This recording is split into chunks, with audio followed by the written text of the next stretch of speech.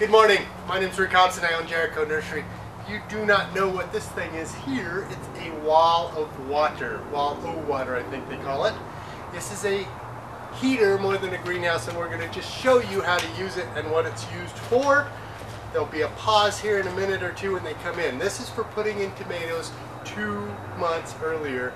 In Albuquerque, that would be as early as February 15th. Average last frost date in our city is April 17th, so February to March, March to April, two months early, maybe March 1st. You put this thing out, I'm going to show you how to fill it up, what we do and what seems to make the most sense, and talk a little about it as I do it. The guy that invented these has a much quicker way because he does it for a living. This is the way I do it. We put this bucket inside here so the thing doesn't fall over. Again, the guy that has done this for his whole life doesn't do it this way. I find it much easier. Just that simple. Fill these tubes up with water.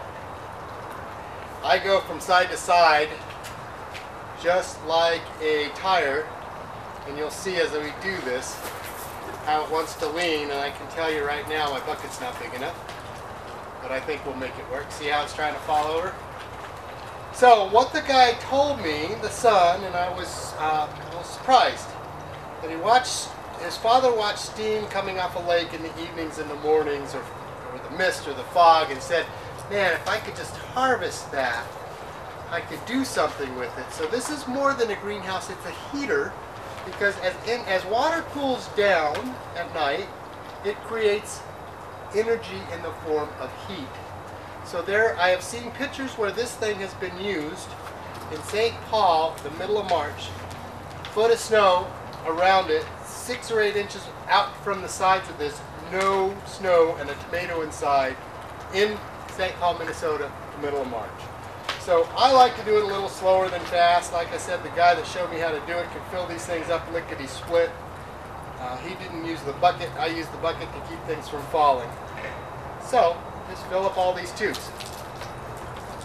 The other thing I recommend once you get this thing filled up is even though it won't freeze inside, tomatoes need warm soil temperature. So I tell you, get this thing filled up like this, put it where you're going to plant your tomato, and leave it set for three or four days or even a week, because that will warm up the soil.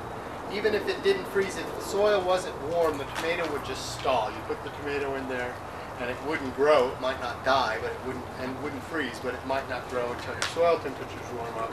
So you've kind of lost the advantage of putting in two months early if you've got to wait a month for your soil to warm up. And voila, instant tomatoes. Okay, so once you've filled up your wall of water like this, and you see my bucket and the reason I use it, and I'll show you here in just a minute what we do, and my instant tomato, voila, and the reason we put wall of waters, as I said earlier, is you can plant up to two months earlier.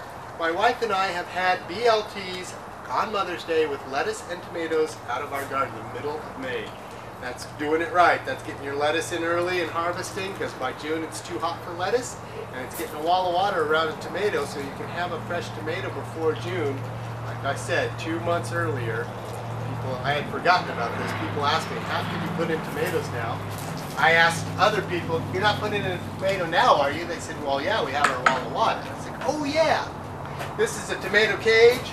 This could go in here. I'll pull this bucket out here in a second. Uh, though, really, I would wait on this until you pull the wall of waters off. I have done it with these. The wall of water will, will pull over the top of this. It's a real pain in the butt. The guy told me that invented these, and it was a sales pitch. He said, you can leave these on all summer, and it will give you some coolness around the plant. I found that they grew algae. They didn't last as long. Once we get to May, you just grab this thing and pull it off, is what I do. If the plant happens to come out of the top, we've had this happen before too, it will freeze out of the top, but inside, like I said, it's a heater. It won't freeze. You push this thing all the way out, where you can have that cone go together like that. That's your that's your antifreeze with the heater. What you want is that thing sitting where it's going to set for a week. Then you just pick it up, move it over, plant your plant right there where it warmed up your soil. Probably a little bit of help. Get it back over the plant like that. Two months early on a tomato. Guaranteed you can have tomatoes by June if you start in March. Thanks for watching. Appreciate it. Hope to see you soon.